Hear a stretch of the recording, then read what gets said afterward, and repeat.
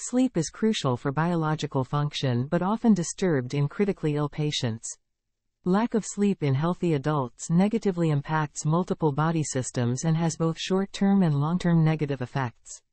In the context of critical illness, poor sleep quality and quantity can lead to worsened outcomes such as increased delirium, depression, decreased quality of life, and possibly higher mortality rates.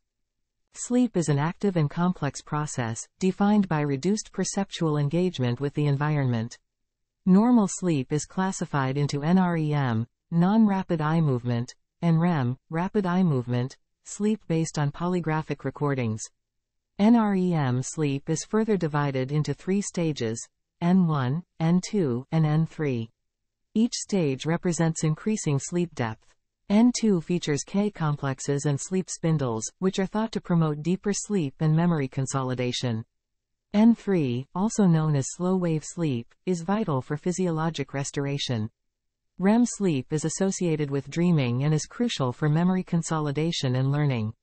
Typically, the brain cycles through these sleep phases in 90 to 120 minute intervals, with 4 to 5 cycles occurring during a full night's sleep. Both the architecture, quality, and the duration of sleep are important for its beneficial effects. Observational studies note that sleeping less than 7 or more than 9 hours per day over the long term is associated with adverse outcomes. Sleep disturbances are highly prevalent in ICU, with 47% to 59% of patients reporting poor sleep through questionnaires and 67% to 100% showing abnormal sleep quality through objective measures like polysomnography and actigraphy. Post-ICU discharge, 10% to 61% of patients continue to experience sleep disturbances. This improves over time but can persist in up to 61% of ICU survivors 6 to 12 months post-discharge. Long-term effects of sleep disturbance extend up to three years post-ICU discharge, with women more affected than men. Sleep disruptions are often linked with other adverse conditions such as post-traumatic stress disorder, depression, weakness, fatigue, and pain, although these relationships are likely bidirectional. Factors affecting sleep in ICU are Patient factors. Increasing age, male sex, and poor sleep quality at home are linked to worse ICU sleep. Acute illness severity has inconclusive evidence regarding its impact on sleep.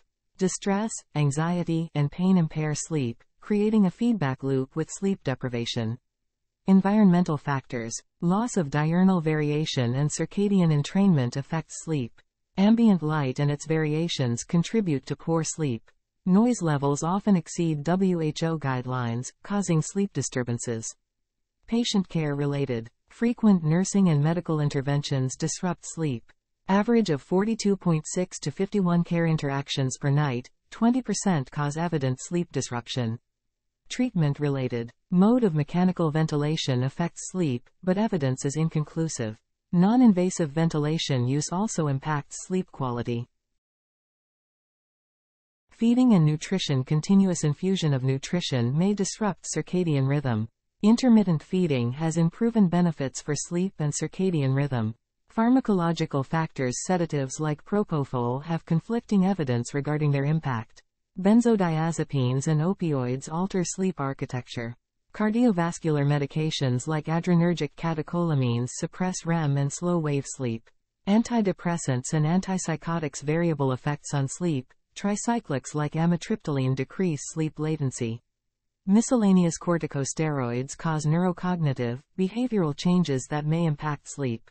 The impact of multiple pharmacological agents on sleep is not completely defined, especially in terms of sleep deficit-related morbidity. Objective measurement of sleep in the critically ill are polysomnography, PSG, gold standard but limited in ICU due to logistical, technical, and financial barriers. Poor tolerance in up to 25% of ICU patients. Inaccurate for atypical sleep patterns seen in critically ill. EEG spectral analysis simplifies sleep analysis by using fewer EEG leads. Bispectral index, BIS, not reliable in differentiating sleep stages.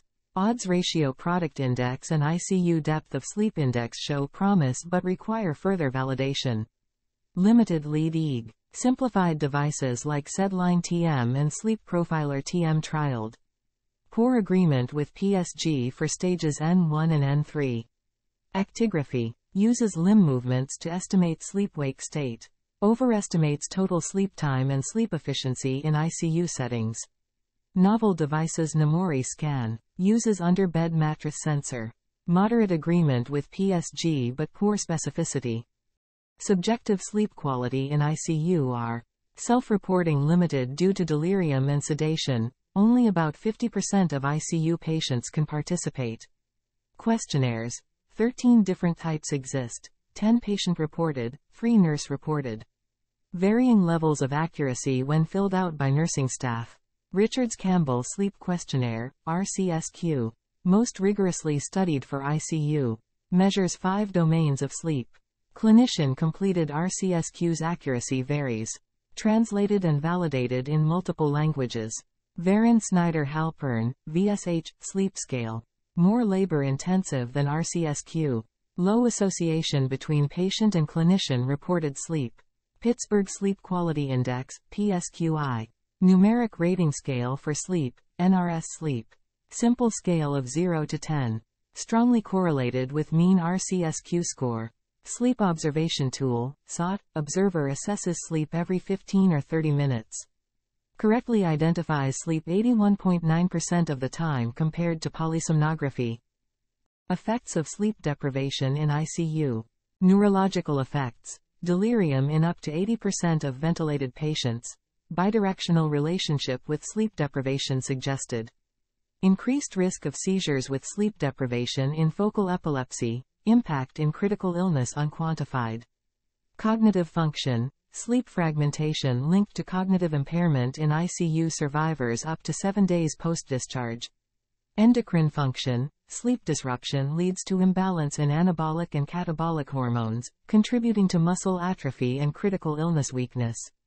Impaired glucagon secretion and elevated cortisol in sleep-deprived adults, possibly leading to impaired glucose tolerance in ICU. Melatonin, reduced concentrations in ICU patients likely contribute to sleep disturbances and have been linked to increased morbidity and mortality in animal models. Immune function, sleep deprivation decreases natural killer cell activity and impairs vaccination response.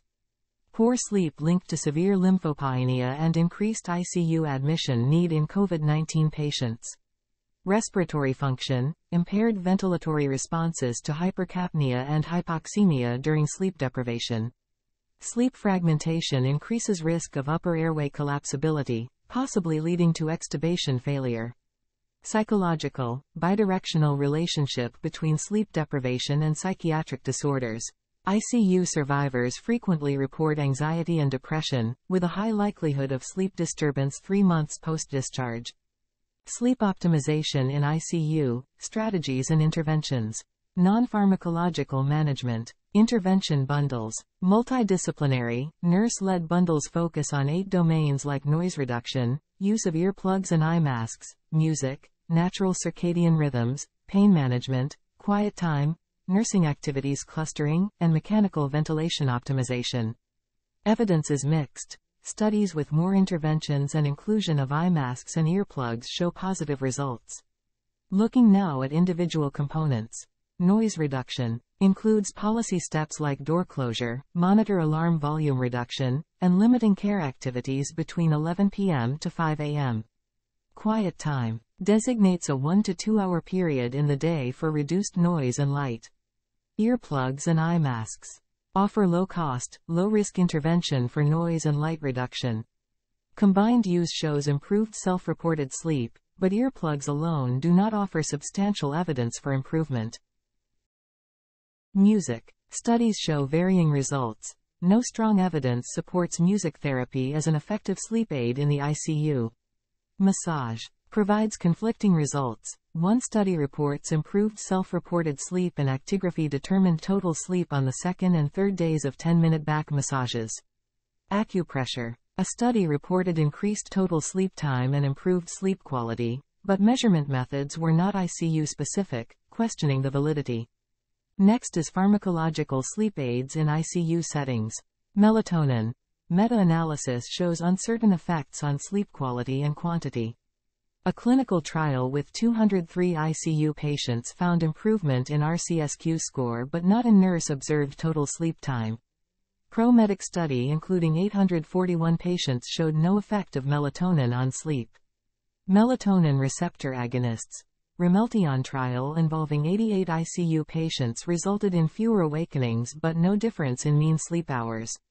Temazepam. No clinical data available. An ongoing trial is currently recruiting. Nocturnal propofol.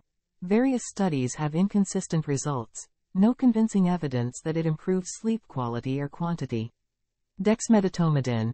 Increases sleep efficiency, total sleep time, and percentage of N2 sleep phase in certain trials.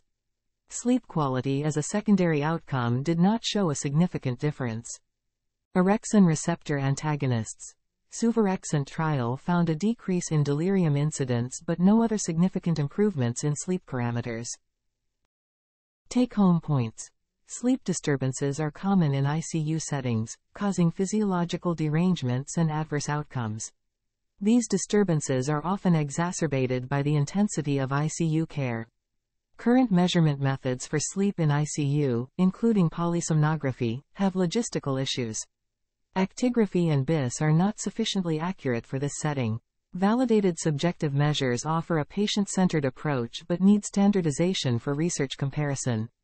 Non-pharmacological interventions like earplugs and eye masks show some promise, but other strategies lack clear evidence of benefit. Pharmacological sleep aids are commonly used but lack robust evidence to support their effectiveness. Agents like melatonin, Ramelteon, temazepam, propofol, and dexmedetomidine have shown mixed results in studies. Given the complexity of sleep, a multimodal approach is likely needed to manage sleep disturbances effectively in ICU patients.